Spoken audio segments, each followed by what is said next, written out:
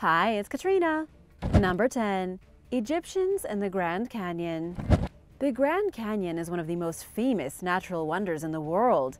Six million people visit it every year, and it is approximately 277 miles long and 18 miles wide at its thickest point. There are many nooks and crannies that haven't been fully explored yet. The Hopi Indians who lived in the region once believed the canyon was a gateway to the afterlife. And there are rumors that this magical place may very well have been the home of an underground civilization from across the planet. Explorers from the 1900s claim to have found evidence that suggests a group of ancient Egyptians were living in the Grand Canyon way before Europeans ever found North America. The shocking discovery goes back to 1909. The legendary Smithsonian Institution explorer G.E. Kincaid allegedly found a series of canyons during an expedition with anthropologist S.A. Jordan. The entrance to the cavern was nearly invisible and very hard to access, but they finally managed to squeeze themselves inside, at which point they discovered enormous caves filled to the brim with artifacts.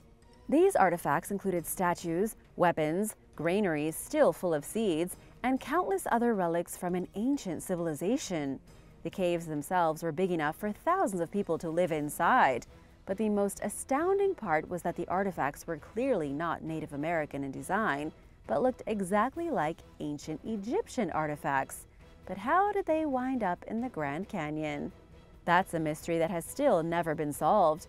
Nobody knows what happened to the alleged artifacts, and the Smithsonian denies every aspect of the story, and it's been argued that both Kincaid and Jordan were wiped from the records. Some believe this is a massive cover up to maintain the status quo of human history. But if this was all true, it means that ancient Egyptians could have managed to arrive to the Americas and perhaps lived here amongst the native people. This would add to the list of rumors that ancient people arrived to the Americas thousands of years ago, such as the Chinese and the Sumerians. But of course, it has been impossible to prove if this could actually be true or if this is just speculation. For many, the Grand Canyon is the perfect place to hide a secret passage to another dimension or even to a secret reptilian underworld. Number 9. Rupak The archaeological site of Rupak Marca Culpi is known more simply as the Machu Picchu of Lima. Just like Machu Picchu, this place was built at the very top of a mountain with a panoramic view for hundreds of miles in the distance. And yet it wasn't created by the Inca. It was instead a settlement associated with the Atavillos culture. What makes it so incredible is that if it were in better condition, it would be just as mystifying as Machu Picchu. Yet because of its bad state of decay, very few people even know it exists. Los Atavillos culture emerged after the collapse of the Wari Empire, sometime around the year 1100 and began to establish permanent settlements throughout the Lima Valley. One of these was on the summit of Rupak Hill. That's at an elevation of roughly 10,000 feet above sea level. Just like Machu Picchu, the main activity here was related to worship. At least it was at the start. Funerary rites were performed on the hill, with the larger complex facilitating everything that went on with the ceremonies but between 1470 and 1533, Los Atavillos were attacked by the Inca and changed Rupac to more of an administrative hub. Nonetheless, that didn't stop the Inca from absorbing the Atavillos into their empire, leading to the abandonment of Rupak. Number 8. The Serpent Mound The largest surviving effigy mound in the world is located in southern Ohio. It's called the Serpent Mound, and it's the biggest lump of earth anywhere on Earth shaped like an animal. It's over 1,348 feet long, built by the Native Americans roughly 2,000 years ago. It was discovered in the late 1800s and excavated several times since, but its origins are still a mystery. Some believe it was made in the year 300 BC. As you may have guessed by the name, Serpent Mound looks just like an enormous serpent. It looks like a snake with its head pointed east and its tail pointed west, curled in a spiral. Between the head and the tail are seven winding coils. In total, with the coils straightened, the snake stretches a quarter of a mile long and at some places is nearly 25 feet in width. The snake itself is overlooking Ohio Brush Creek, less than 80 miles from Cincinnati.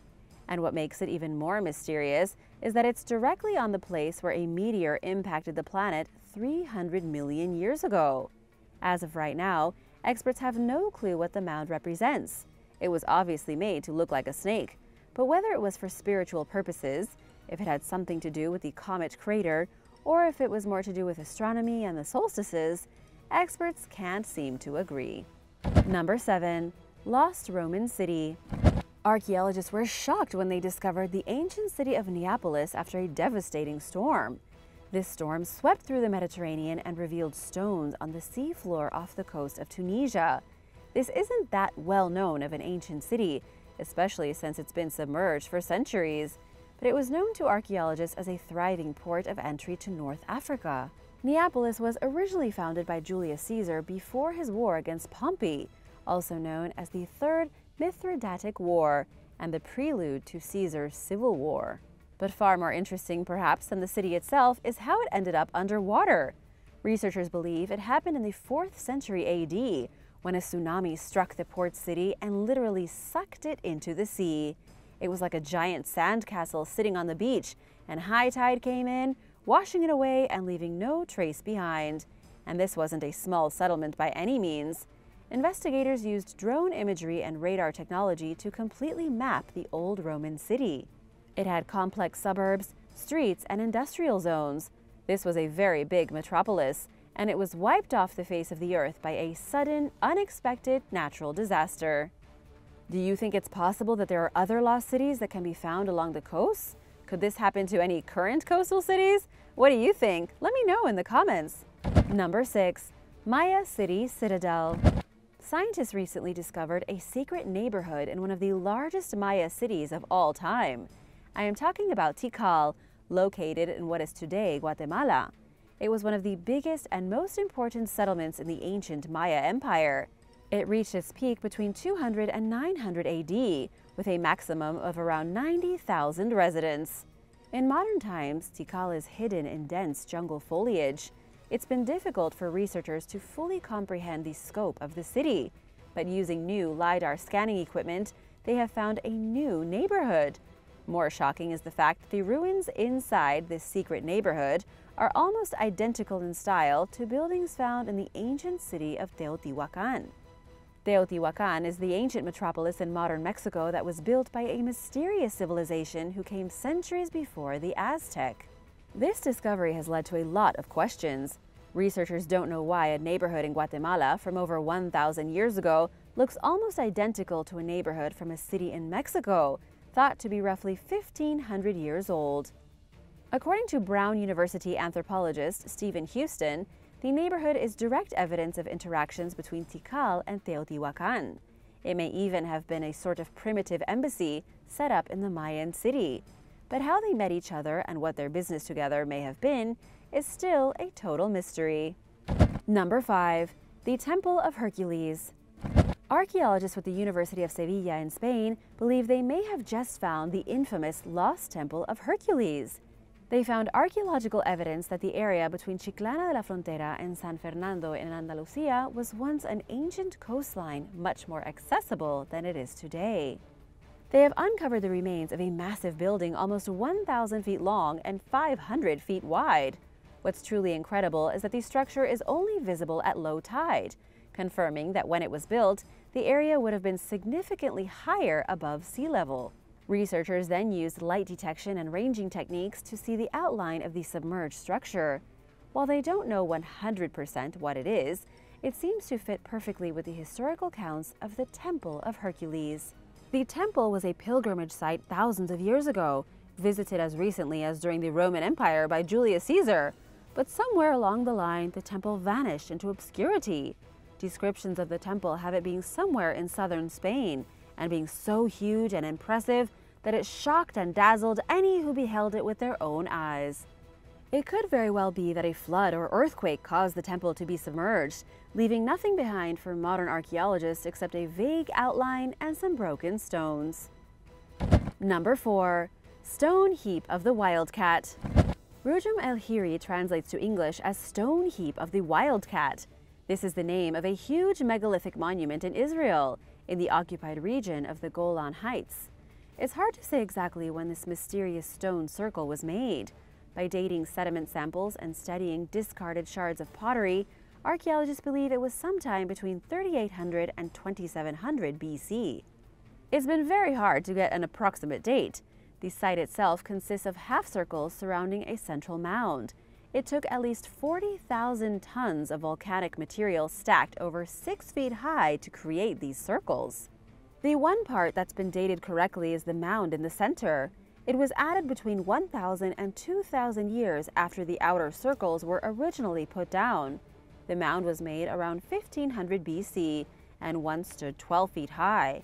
Today, everything here is flat. This place has been worn down by time. And unfortunately, archaeologists can't agree on what it was ever used for. It could have been used by the ancient Zoroastrians for astronomical observations. It could have been a burial site, though no bodies have been found, or it may have been used as a calendar. And it could have been employed in funerary rites to help the dead reach the underworld, or maybe everything at once. Number 3. The Gigantia Temples.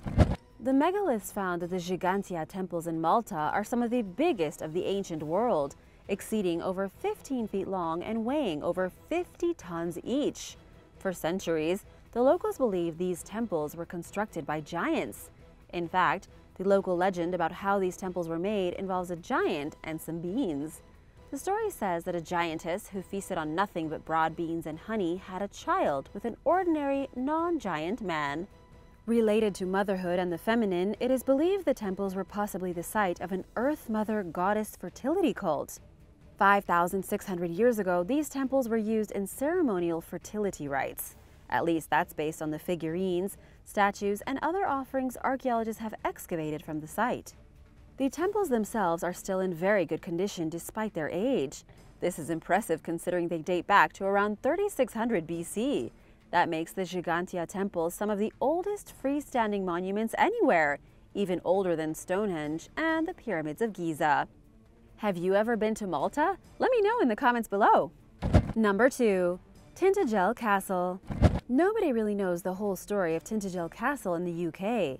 There is very little of the ruins still standing, not much more than a crumbling stone entrance and the hint of walls rising up from the Great Sea cliffs. Some say it may have been an Iron Age fortress. Others think it could have been constructed by the Romans 2,000 years ago. The Romans definitely did use it for a while, since archaeologists have found signposts along major roads and old coins in the dirt from the 4th century.